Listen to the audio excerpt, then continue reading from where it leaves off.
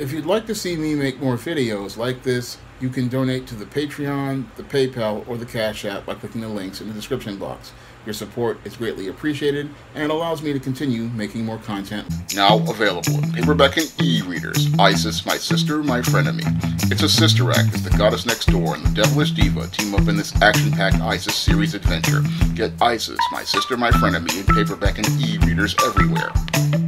One of my viewers sent me a link to an article about a YouTuber who was known for playing practical jokes winding up getting shot and killed when he tried to pull a practical joke on some people in Tennessee. And this is another case of play stupid games and win effed up prizes because in this case, this YouTuber decided to pull his practical joke where he took out a butcher knife and pretended to rob someone in the conceal carry state of Tennessee. Now, in states where people have conceal carry and open carry permits, people are allowed to carry firearms with them and carry them in their cars. And most of the people who have concealed carry permits, what they do is if they see a threat coming at them, they're going to take out their weapon and they're going to use it against the threat. But your practical jokers, they were only thinking about the YouTube views they were going to get and the laughs they were going to get from pulling this practical joke when they couldn't see that they weren't the ones who were going to get a last laugh in a state with a concealed carry permit.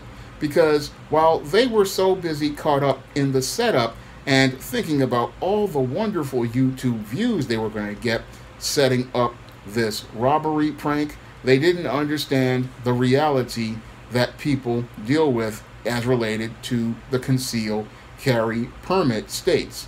Now, this individual decided, hey, I'm going to go to this state of Tennessee, where again, there's a legal case of concealed carry and open carry as related to firearms, and he's going to go up there with butcher knives pretending to rob someone, not understanding that once you put somebody in fear like this, in a state like that, what will happen is if that person reacts by taking out their loaded firearm, which they are legally licensed to carry, and put several bullets in you, they're the ones who are going to be the last one standing, and you're the one who is going to wind up suffering as a result. And this is all that prankster's fault because this prankster didn't understand that many people in places where they have concealed carry don't buy into that brand of humor. Now, I myself, as a comedy writer and a guy who likes to make a good joke here and there, know where the line is as related to humor. And as a comedy writer, I know there's a difference between funny and cruel. And I personally believe it is extremely cruel to go out here with a weapon and pretend to rob someone and believe that this is in some way humorous and some way entertaining because as I see it, true comedy is something everybody can laugh with you in a situation. And when somebody goes out here and takes out a weapon and pretends to rob someone, this is a cruel joke where somebody is laughing at someone and expressing nothing but disrespect for them. And it seems like the people in the state of Tennessee, the 23 year old man he was trying to play the joke on, was not going to take being disrespected and he took his respect by pulling out his firearm and then using it to kill this individual who he believed was a threat. And it goes back to an old episode of He Man I once watched where Man at Arms, at the end of the moral of the story, said that practical jokes were not a good thing to play, and that in some cases somebody could wind up losing an eye or eh, or get injured in certain way back in that old He-Man episode.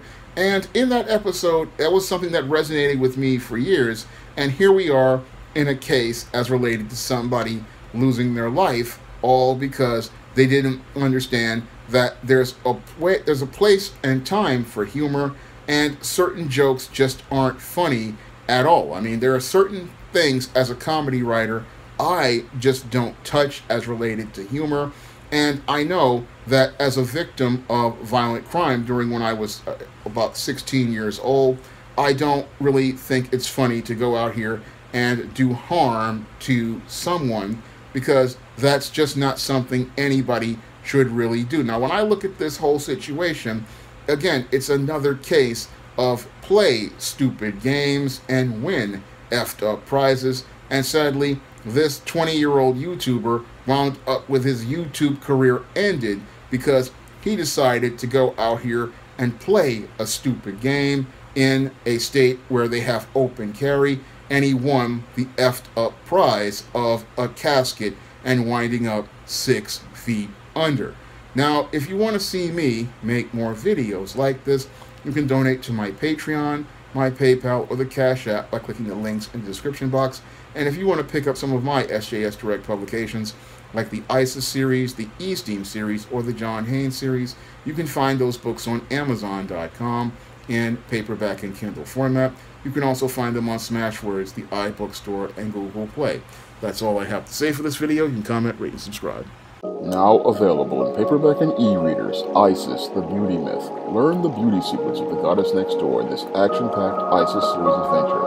Get ISIS, the Beauty Myth at online booksellers everywhere today.